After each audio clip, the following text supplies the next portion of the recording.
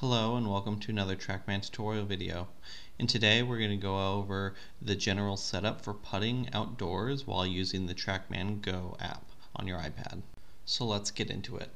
The first thing you want to do is go into the settings app on your iPad and make sure that you're connected to your TrackMan's Wi-Fi network. You can then get back to the home screen and open up the TrackMan Go app. Once the app opens, choose the putting tile on the right side of the screen and assuming your iPad is successfully connected to your TrackMan, you should see the serial number pop up and automatically connect and advance to the target image screen. Here we can calibrate the TrackMan by tapping with our finger and dragging the crosshairs to wherever we plan on putting to. Here I chose the bottom of the pin which is in the cup. In addition, it's important to point out that there are two separate boxes for righties and lefties to putt from. I've also placed a tee in the ground as a physical marker, that way I don't drift away and putt from outside of the box. Next we'll be taken to a page where we can choose a player, and finally start the session. One thing I always like to do is to enable the shot list view on the left side of the screen. This gives us a separate window to view our data as putts come through. And as you may have noticed already, the main view of data we have selected currently is the data tile view. Now as we hit a putt, it's important to point out that the duration of time needed for the data to appear in the app strictly depends on how long of a putt we're hitting, considering the TrackMan is tracking the ball until it stops rolling. Now let's hit a couple more and speed it up just for viewing purposes. Now, the next view we can choose in the top center of the screen is the swing video view. In order to get videos to come through, we have to turn on the TrackMan camera. To do so, click the video camera icon on the top right and enable the TrackMan camera. Then tap on the left side of the screen to minimize that window. You may also want to set the shot list view on the left side of the screen to show data tiles. That way we can see data as our swing videos roll through. Now let's go ahead and hit a couple putts. And at any point, once the swing videos load into the app, you can press the play button in the bottom left corner to view them.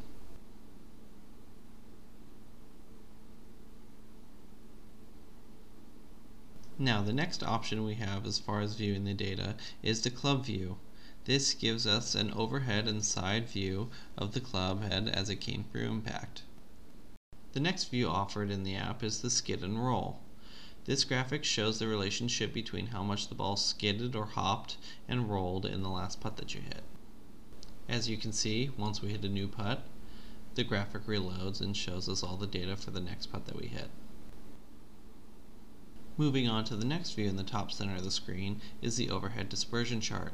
This graphic gives us key information like the amount of break the putt had, the entry speed distance, and the launch direction. And last but not least, the final view is the table view, where we can see a clear outline of all the putt data that we've hit so far and any groups that you may or may not have grouped your data into. Up to this point, we've only hit one putter, therefore we only have one group of data. So let's go back and add a tag and test out a new putter. In order to do so, go back and hit the tags button in the top left corner. Then you can either choose from existing tags or enter a custom one and press done once you're finished.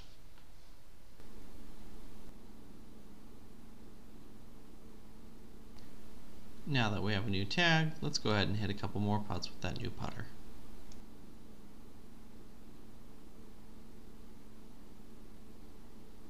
And now that we've introduced that second putter or group, we can simplify our view of the shot list on the left hand side of the screen by enabling the groups filter. Now at this point, since we've tested both the putters we wanted to try out today, we can go ahead and go back to the home screen and end our session. You can click the home button in the top left corner of the screen.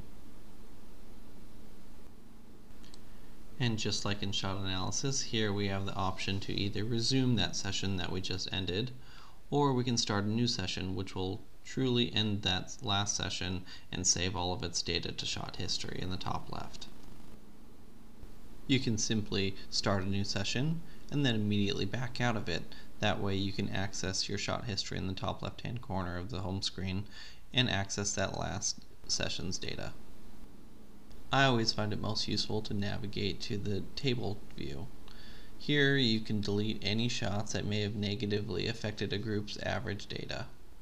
You can do so by holding your finger down on a specific shot and choosing delete. In addition, if you wanted to share this data in the form of a report, you can hit the share button in the top right hand corner of the screen. Once the window pops up, you'll need to click share. Next, we'll get a pop-up that indicates that our iPad is offline. This is because it's currently connected to the TrackMan's Wi-Fi network, which does not provide any internet access.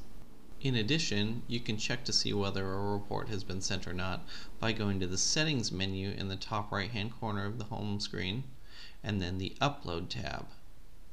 Here you'll see the report that we just tried to send sitting idly, waiting for the iPad to be connected to the internet. In order to get this report sent, you can back out of the app completely and go back into your Settings app.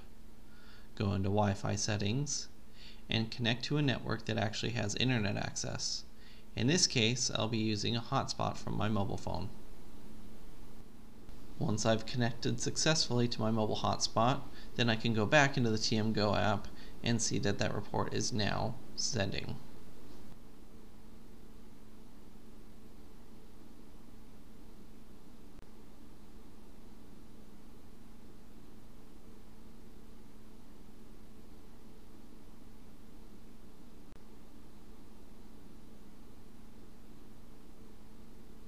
And finally, the green cloud icon next to the report indicates that it has been sent successfully.